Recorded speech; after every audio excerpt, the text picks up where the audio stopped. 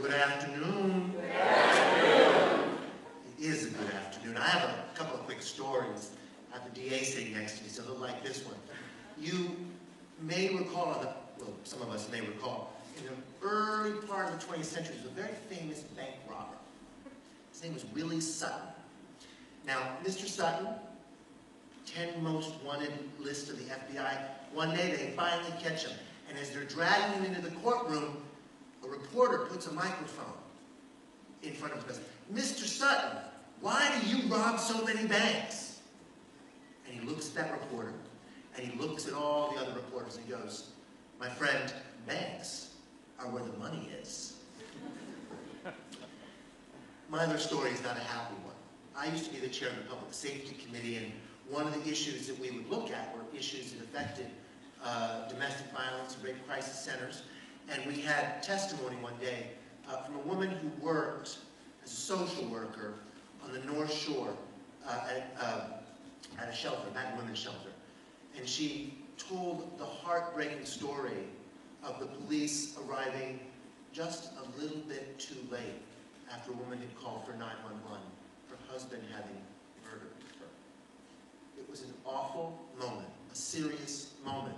And she looked at us and she said, it isn't just this story, it's all of these stories where we are coming after the fact, saying, help us. What we need to do is change the fact that this violence happens in the first place. So I think about what this campaign is about. And what we're really about, kind of like that Willie Sutton guy, banks are where the money is. We're going to the source. We're coming here to all of you, asking you to take the pledge with us today and take this to your friends and your neighbors and your fellow congregants and other people in your community saying, take the pledge to stop violence, to stop sexual assault, so that we don't have to have women and men losing family members, experiencing the loss of family and friends that we all pay the price for. Help us change the equation by going to the source, going where the money is, and changing attitudes. And because men are the source of this violence in so many cases, we are asking you to, as men in particular, to take this pledge against violence. So I have the distinct honor now of initiating the part of the program that so many of you are here uh, for. The strength of the White Ribbon Campaign lies in these actions of each of you out in the community who are our ambassadors of the campaign. In these local committees is where the White Ribbon Day really takes root. We're going to share a few videos over the course of the afternoon program. And our first video is one of those that we're very excited by. It's been produced by and for men at the Brigham and Women's Hospital right here in Boston. And it is uh, my pleasure to introduce it now. Steubenville, Ohio, to the buses of New Delhi, India. Through the International White Ribbon Campaign, we are connected to a worldwide movement to end such violence against women. It happens, it's every day, every day in the paper.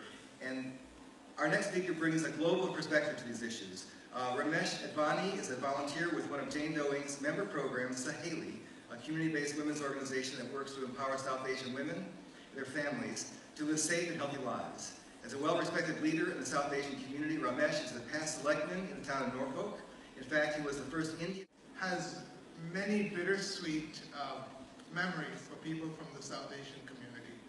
Um, bitter because on December 16th, a young 23-year-old uh, woman had just come out of watching Life of Pi with a boyfriend in New Delhi. A big metropolis, teeming, modern, and uh, this was early evening. They got onto a private bus. Now, private buses are uh, very common in India. They're not uh, necessarily buses run by the government. And um, to, to go home. There were five male passengers and a bus driver. They began to harass the young woman. When the male friend protested and tried to step in, he was beaten up and knocked unconscious with an iron rod. Then the men proceeded to brutally rape the woman while the driver just simply rode around, the bus driver. The bus had tinted windows, so, you know, nobody outside could see what was happening. It's horrifying what happened. They threw both the victims out of the bus and the driver tried to run the woman over. They were found by a passerby and were transported to a hospital with a lot of medical, despite a lot of medical intervention. Uh, Nirbhaya, that's not her name. Nirbhaya means fearless. She died on December 29th. And um, you're probably wondering, why am I telling you about this? You probably, some of you may have heard about this rape that took place. Uh, in India, according to police records, a woman is raped every 16 hours.